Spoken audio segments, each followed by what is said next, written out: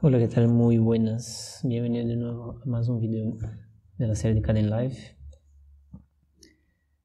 En este video quiero hablar sobre cambio de velocidad e inversión del video, ¿vale? Es muy sencillo de. Solo voy a dar unos tips acá nomás, ¿vale? Entonces...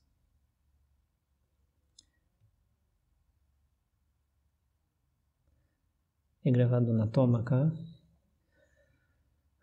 pero yo he grabado a 60 frames por segundo, ¿vale? Entonces ese es un tip ahí. En tu cámara, tu configuración de video, tu vas ahí cambia de 24 frames a 60 frames por segundo. Isso te vai permitir uma melhor qualidade quando tu cambiar a velocidade, ¿vale? Tanto para slow quanto para velocidade mais elevada, assim.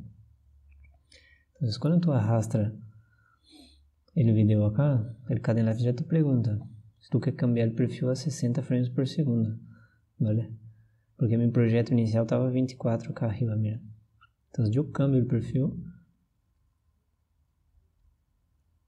y eso me permite una mejor calidad.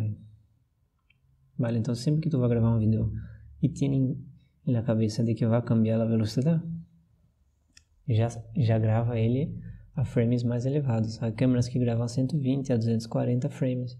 Então depende de que câmera tu pode, de que tu câmera oferece, né? Vou cá acortar um, um trecho.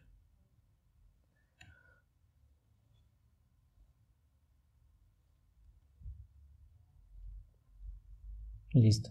Então esse é o vídeo normal.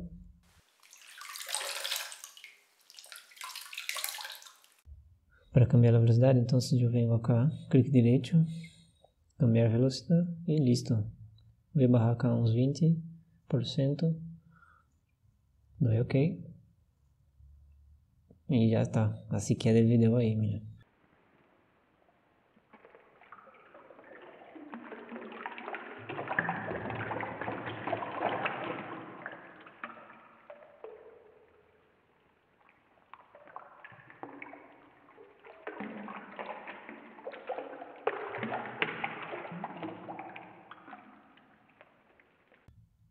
¿Vale? De igual manera, puedo cambiar para más, pero hay que ir mirando, ¿no? Porque no puede forzar tanto acá porque vai, quedar muy...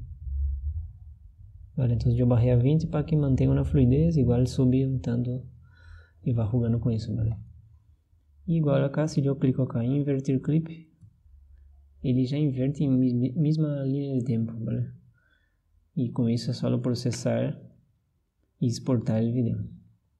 Vale. Vengo a procesar MP4 y acá yo puedo elegir la calidad, ¿no? Vale.